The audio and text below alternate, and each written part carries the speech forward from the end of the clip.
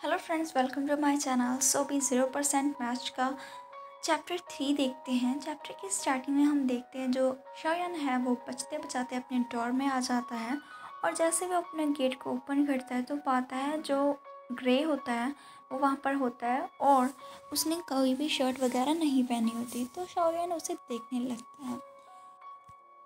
तभी जो शौयन है, वो उस ग्रे को पुश करता है और उसे वापस अपने कमरे में लॉक कर देता है। तो ग्रे को समझ नहीं आता कि उसने उसे पुश क्यों किया। है तो उसने उसे पुश इसलिए किया होता है क्योंकि उसने कोई भी शर्ट नहीं पहनी होती और पीछे हमारा पीच होता है और वो नहीं चाहता कि वो किसी अल्फ़ा को ऐसे देखे।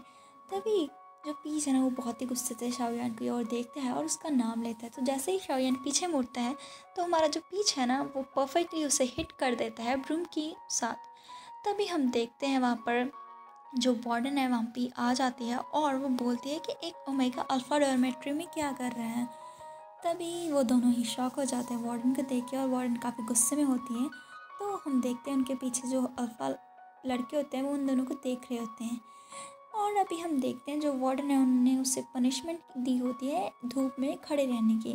तभी एक लड़का बोल रहा होता है कि चलो देखते हैं कौन सा जो ओमेगा है, जो इतना ज़्यादा फेयर्स है, जो अल्फ़ा ओमेगा अल्फ़ा डॉर्मेट्री में कदम रखने की हिम्मत करता है और हम देखते हैं वहाँ पर जो लड़के होते हैं वो आराम से अपनी स्नैक्स एंजॉय कर रहे होते हैं और अपनी बालकनी से उन दोनों को देख रहे होते हैं। तभी एक लड़का बोलता है कि वो एक फ्रेशमैन है जिसका नाम लू झाऊ है और फिर जो एक लड़का है वो बोलता है कि वो दोनों आखिर एक दूसरे से कितना ही हेट करते हैं कि वो पहले ही दिन स्कूल के ऐसे एंड अप हुए हैं मतलब ऐसे फाइट कर रहे हैं। तभी एक लड़का बोलता है कि वो हमेशा से ही ऐसे ही हैं। हम कुछ भी नहीं कर सकते, लेकिन उन दोनों को बस टीज़ कर सकते हैं। तभी एक लड़का बोलता है कि आज बहुत ही ज़्यादा धूप है, क्यों ना हम एक अम्ब्रेला दे के आए उन्हें? लेकिन मुझे डर है, अगर मैं उन्हें अम्ब्रेला देकर आऊँगा तो मुझे टैनिंग हो जाएगी। वैसे भी मुझे अपनी स्किन का ख्याल रखना होता है। तभी वो सभी लोग ग्रे को बोलते हैं कि तुम उन दोनों को अम्ब्रेला देख कर आओ। तभी ये सारी बातें जो नीचे खड़ी पीच और शवयन सुनते हैं और उन्हें कुछ भी समझ नहीं आता कि वो क्या कहें। तभी हम देखते हैं जो वहाँ पर ग्रे है, वो आता है और शयन को अम्ब्रेला देते हुए बोलता है कि ये तुम दोनों के लिए है और फिर वो बोलता है कि तुमने खाना खाया है या फिर नहीं? और फिर उन्हें बोलता है कि अगर तुमने खाना नहीं खाया है तो तुम अपना जो मील कार्ड है वो मुझे दे दो, मैं तुम्हारे लिए कुछ लेकर आता हूँ। तो शयन बताता है कि नहीं, हमने अभी तक खाया नहीं है, हमारे पास इतना टाइम ही नहीं था। और फिर वो उसे बोलता है कि जो पैकेट मेरी पॉकेट में है वो कार्ड तभी पीच बोलता है कि मैं आज लाना भूल गया हूँ, अपना जो कार्ड है तो इसलिए मैं खाना नहीं खाऊँगा। तो ग्रे उसे बोलता है कि तुम यंजन की कार्ड से मील कर लेना, क्योंकि ये इसे डिज़र्व करता है। तभी वो वहाँ पे चुपके से जाता है और सोचता है कि वार्डन उसे देखे ना। तभी हम देखते हैं, जो होता है, शायन वो अमरेले को ओपन करता है और पीच के पास जाता है। और वो दोनों साथ में वैसे ही खड़े होते हैं और उन्हें दोनों को समझ नहीं आ रहा होता कि वो क्या करें। तभी वहाँ पर देखते हैं उनके जो सर हैं वो आ जाते हैं और वो उन दोनों को बोलते हैं कि क्या तुम्हें बाहर रहने की सज़ा मिली हुई है? तो वो जो हमारा पीच है और शयन, उनके सामने गुड बॉय बनने की एक्टिंग करते हैं और उन्हें बोलते हैं, उन्हें ग्रीट करते हैं। तभी जो उन्हें ऐसे देख के जो हमारा टीचर है वो खुश हो जाता है। तो इन दोनों की रिलेशनशिप स्टार्ट होने में एंड तक इस जो टीचर है ना इसकी बहुत ही बड़ी भूमिका रहने वाली है तो इसे याद रखना, क्योंकि ये इन दोनों को काफ़ी ज़्यादा सपोर्ट करता है। तब ये टीचर है ना, वो अपने मन में सोचता है कि ये दोनों कितने ज़्यादा अच्छे स्टूडेंट्स हैं, इसीलिए तो ये रिप्रेजेंटेटिव हैं हमारे स्कूल के। पनिशमेंट मिलने के बाद भी ये दोनों कितने अच्छे से मुझे ग्रीट कर रहे हैं, इन्हें बस थोड़ी सी गाइडेंस की ज़रूरत है तो फिर ये अच्छे से फ्रेंडशिप स्टेबलाइज कर लेंगे। तभी जो टीचर है, उनके पास आता है और उन्हें समझाता है कि हम, हमारे स्कूल लाइफ टाइम से बहुत ही थोड़े लोगों से ऐसे मिलते हैं जिन्हें हम पसंद करते हैं और ये सारे लोग हमारी मेमोरीज़ बन जाती हैं जो कि हमारे लिए काफ़ी प्रेशियस होती हैं। तुम दोनों अभी यंग हो तुम दोनों इतना ज़्यादा फाइट क्यों करते हो? तुम दोनों को एक दूसरे के साथ अच्छे से रिकनसाइल करना चाहिए ताकि तुम दोनों अच्छे से स्कूल में अपना टाइम इंजॉय कर सको। तभी वो बोलता है कि, लू जाओ, कल तुम्हारी मिलिट्री ट्रेनिंग है और शायद कल तुम्हारी क्लास है तो तुम दोनों अच्छे से बिहेव करो और जाके रेस्ट करो। तभी जो टीचर है वो पाता है कि जो शायन है उसके हाथ में एक ड्रिंक होती है, तभी वो शायन को इशारा करता है और बोलता है कि जो लूता है, उसकी सुबह ट्रेनिंग थी, जिसकी वजह से उसने कुछ भी ड्रिंक नहीं किया होगा। तुम ये उसे क्यों नहीं देते हो?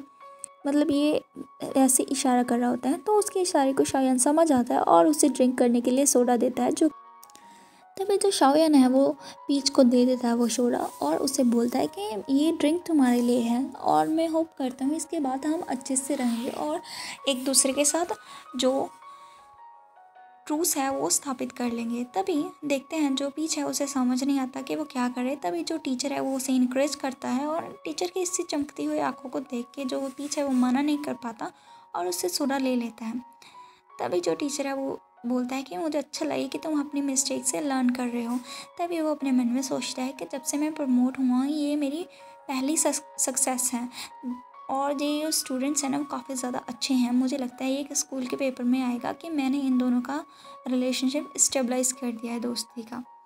तभी जो पीच है, वो जैसे ही सोडे को ओपन करता है और हम देखते हैं, क्योंकि जो सोडा है ना, वो कब से भाग रहे थे तो उसे शेक करने की वजह से वहाँ पर प्रेशर आ जाता है और वो जल्दी से जो पीच है, वो उस बॉटल को यंजन की तरफ़ कर देता है।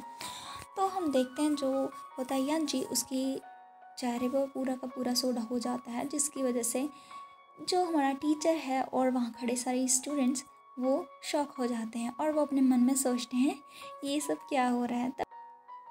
तभी जो एक थर्ड फ्लोर पर लड़का होता है, जो कि बोल रहा होता है कि मैंने बायोलॉजी में कभी भी टीचर्स की बातों पर ध्यान नहीं दिया जब भी वो पैरामॉन्स के बारे में बताते हैं।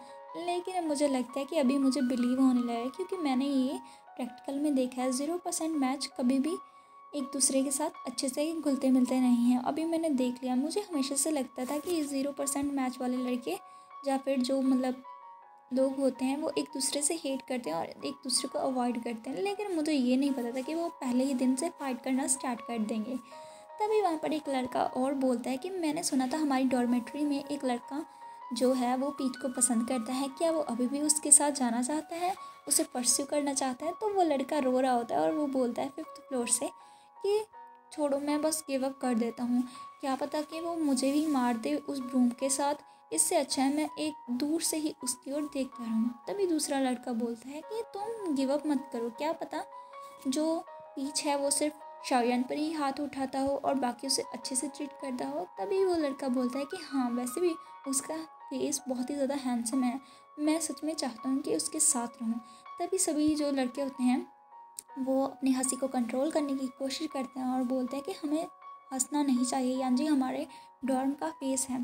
तभी हम यान जी को देखते हैं जो कि पूरा भीग चुका होता है और यहाँ पर पीच भी अपनी हँसी कंट्रोल करने की कोशिश करता है और फिर पीच उसके पास जाता है और उससे बोलता है कि तुम इतने केयरलेस कैसे हो सकते हो? तुमने सभी अपने जो हेयर हैं, गंदे कर लिए हैं और यहाँ पर कितने ज़्यादा पत्ते लगे हैं, तभी जो पीच है वो सोडे को पीता है और उससे बोलता है कि ये सोडा काफ़ी अच्छा है, तुमने कहाँ से बाई किया? तभी जो होता है हमारा यन जी, वो काफ़ी जहाँ पर अच्छा लग रहा होता है स्टनिंग लग रहा होता है उससे बोलता है कि हाँ ये काफ़ी ज़्यादा प्रिटी है, और वो ये बातें हमारी बीच को देखते हुए बोलता है। तभी वो उससे बोलता है कि कल तुम्हारी मिलिट्री ट्रेनिंग है तो उसके बाद मैं तुम्हारे लिए ये ड्रिंक बाई कर लूँगा। तो उसकी बात सुन के जो पीछ है, उसे कुछ भी समझ नहीं आता कि वो क्या करे। और यहीं पे हमारा ये वाला चैप्टर फिनिश हो जाता है।